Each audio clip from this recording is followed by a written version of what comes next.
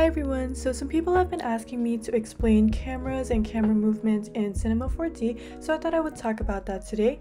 But of course I don't want to just talk about the camera itself, so first I'm just going to show you how to do this kind of trendy mountain kind of scene with cubes and other shapes, or you could even have like just a cutout of your person, whatever. So let's just get started with it. So first you want to just hold this cube and click landscape. Here at the size, you want to just increase this middle number. That's going to increase the height of your mountain. So a lot of this is you're just going to have to keep playing with the numbers. I'm just going to put 700. And as you can see, it became super tall now. And then these two other numbers changes the width and the other width of the mountain range. You'll see. So to change the shape of your mountain, you can increase or decrease the rough furrows. So for example, if I bring this up to 75, you can see it has more kind of uh, dips into it. And if you don't want to just keep playing with the numbers, you can easily increase the seed and that'll completely change the shape of your mountain. So you can just keep scrolling until you're happy with the shape of it. Then you can also increase the scale and if I just change this to even just 3, you can see there's a lot more ridges. You can also uncheck the borders at sea level and this will give you a completely different shape of mountains. If you want to bring your mountain down a little, you can increase the sea level, so let's say 20%, and as you can see, it kind of dips a little lower. So this is the mountain that I ended up with. If you want the exact mountain I have, then just copy my settings here. Now to add the material to this, of course, just create a new material and uncheck the reflectance. Now you can add any picture that you want to this. You can add gradients, you can add backgrounds, you can even add a grid background. That's what I'm going to do first. So just drag the material onto the mountains and change the projection to cubic. If you want to have realistic mountains, like have snow and rocks and stuff like that, then keep watching, otherwise skip to this timestamp. So to create a realistic mountain material, of course, just create a new material and uncheck the reflectance. A lot of what I'm about to show you is probably not going to make much sense, but that's okay. Just follow all of the steps and you'll get your pretty mountains. So here where it says texture, click down this arrow and select layer. Then double click that and click on shader and select noise and do that two more times. So first we're just going to hide these first two shaders. Then select this little picture next to noise, change the first color to gray, and change the second color to a darker gray. Then here where it says noise, change that to Poxo, and change the relative scale to 50, 500, and just keep this last one. Now click this little arrow to go back, and now we can unhide the second layer. Select the picture next to it, and just change the noise to Luka. Change the relative scale to 2000, 75, and 2000. Then go back and then hide the third layer and select that picture. Change the noise to Stupl and change the global scale to 600. For the relative scale, keep the first one and change the second one to 700 and the third one to 80. Now click the back button twice to go back to where we started. And here where it says texture, select fusion and just click that. Click on use mask and then select the arrow for blend channel and select noise, then select that. Change the first color to a super light gray like right about here and change the second one to another super light gray just about here and increase the global scale to 800. Now go back and you want to select where it says layer for base channel. For the first layer you want to change that to overlay and change the second one to burn. Then go back and for the mask channel, click the arrow, select effects and select terrain mask and close out of this and just drag it onto your mountain. And if you click the render view, you can see all of the snow and stuff. If you still want to use a background for your mountains but also add snow to it, then just double click the material. Then here where it says texture, select the arrow, then go down to layer, then select where it says layer, and click on shader, effects, and terrain mask, and click on normal, and select lighten. It looks super weird for now, but if you click the render view, you can see all of the snow in your mountains. So since the material is making this shape look super confusing for now, I'm just going to select it up here where my object is and select delete or backspace on your keyboard and we can just add it back later when we're done with everything. Now to actually get going with our transition and add the cubes, I'm just going to increase the view here. And I'm just going to select the cube and decrease the size and move it up so I can see it. And first I'm just going to add my picture to that. And I'm just going to move around my mountain to find a nice spot for my cube.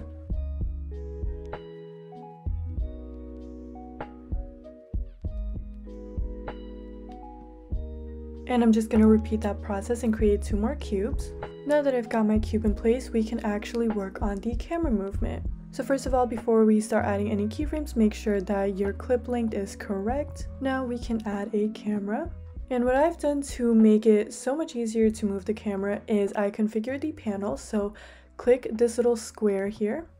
And on this top right one, select options, configure, then change the view to perspective and select display and select the first one.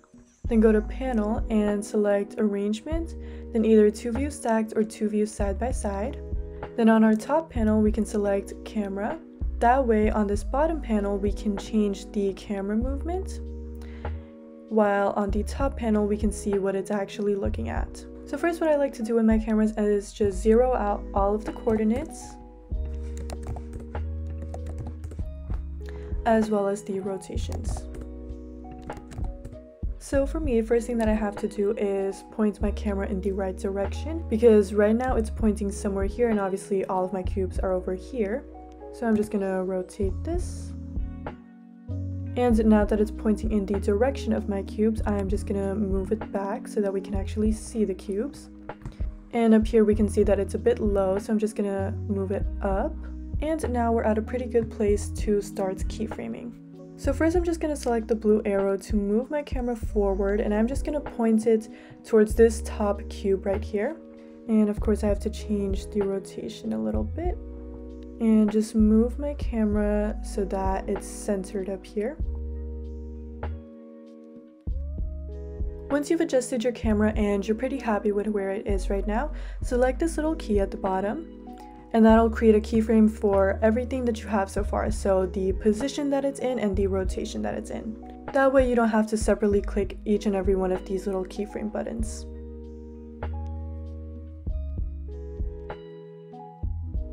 So here in After Effects, let's just pretend I have an actual edit and not just black and white layers.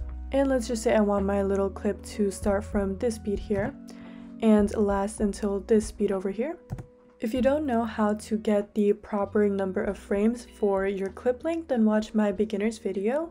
But if you do know how to do that, then this next step is going to be a pretty similar process. So to figure out where my first beat goes, I'm just gonna of course go to my first beat on After Effects. And here the number is 60, so I'm gonna just type that into my calculator. Then I'm gonna just go back to the previous beat, and here the number is 45. So subtract 45 from my number, so 60 minus 45 and I get 15. So now I'm gonna go back to cinema and I'm gonna go to 15 frames and I know that that's where my first beat is gonna go. Now to create a marker here, kind of like what After Effects has, go to the F curve timeline and select this little button and that'll create a marker. And now if I move away, you can see there's a little line at 15 and that's how you know that your first beat is there. So for the second beat, my number is 75, so put that into your calculator, minus this number, 60, and I get 15 again. So now what I'm gonna do is on cinema is go 15 frames after 15. So 15 plus 15, that's gonna be 30. And I'm just gonna add another marker there.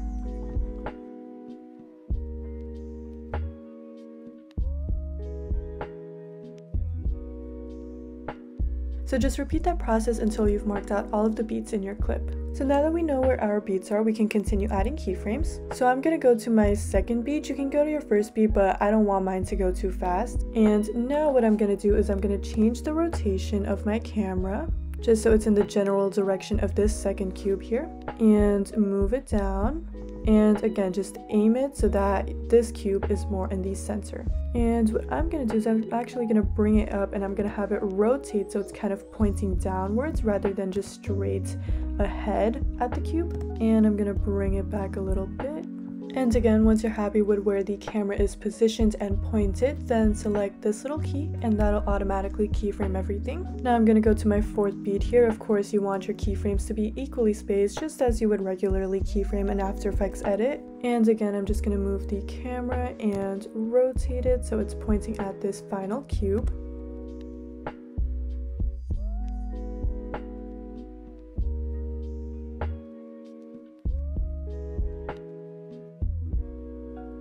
And just keyframe those. So my next keyframe is going to be the end of my clip, but you want to go one frame before your clip ends. So my clip ends at 89, so I'm going to make a keyframe at 88.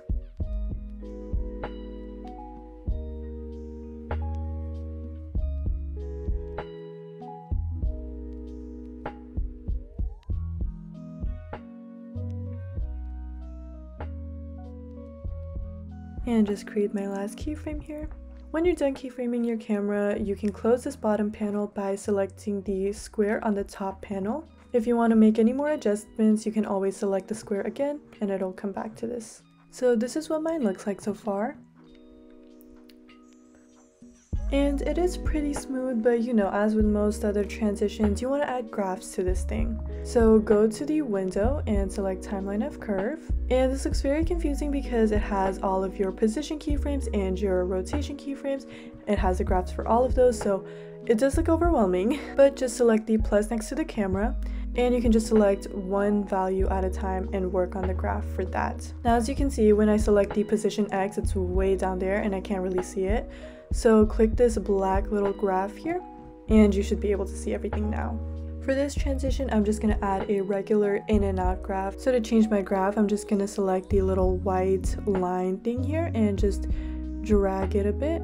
Then select this keyframe and don't just drag it because as you can see, it's changing both sides of it. So what you want to do is select shift and hold that down as you drag it. That way you can only drag one at a time. And after you do it once, you don't have to do it again, so you don't have to keep holding shift as you drag it. And to get a closer look at this graph, I'm just gonna select the keyframes and select this little white graph here, and that'll zoom into my graph here.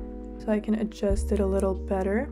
And what I usually like to do is just pull the little white things as far as I can. And that's usually a pretty smooth graph for me. Then to zoom out of the graph, just click this black symbol again. Now I'm going to highlight the next two keyframes and zoom into those. And again, I just like pulling this little white thing as far as I can. For the next keyframe, you are going to have to hold shift to break the graph. Now you can just repeat this process for all of your other keyframes. So this is what mine looks like after adding in graphs.